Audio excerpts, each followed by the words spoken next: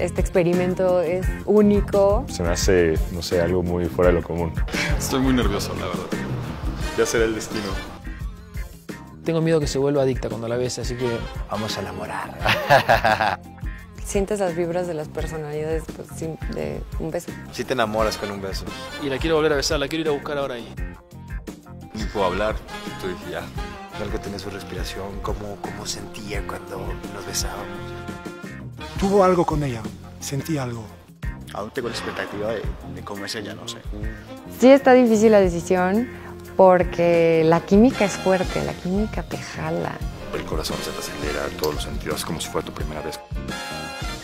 Quiero agradecer a Kiss Love por la oportunidad de conocer ocho almas hermosas que besan delicioso.